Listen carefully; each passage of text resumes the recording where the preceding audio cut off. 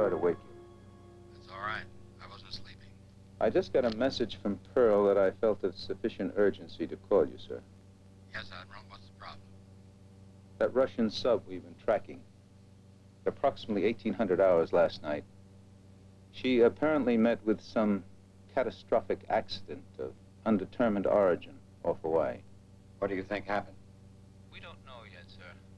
Coast Guard picked up some debris. It's being flown here now. We'll be able to tell better after we analyze it. My guess is that a nuclear reactor malfunctioned aboard the Russian sub, somehow causing a rupture in the hull. Any survivors? I doubt it, sir. The Cape Corwin picked up six dead Russian seamen on the surface. Now, they'd been in the water for approximately 12 hours. The currents and swells in that area are pretty heavy, so the bodies probably drifted miles away from where the sub is located. All of the seamen had died of some strange toxic gas poisoning. It probably had permeated the entire hull. What's our next move? Well, I'd like to get a team down there. Get a look at those latest Russian computers and their hardware. Now, realizing that the sub is the southern territory of the Soviets, that isn't exactly going to be easy. Has the Russian government been notified? Yes, sir. Through regular diplomatic channels, we've offered our full cooperation in the search and recovery operation. As yet, we've had no response. I doubt if we will.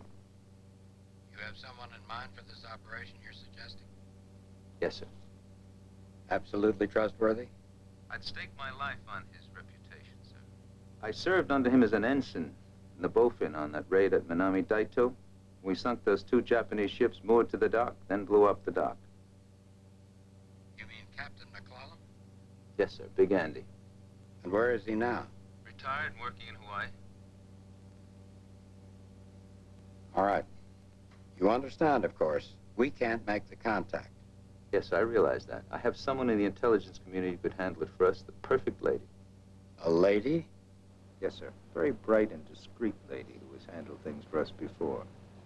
What do you suppose that is?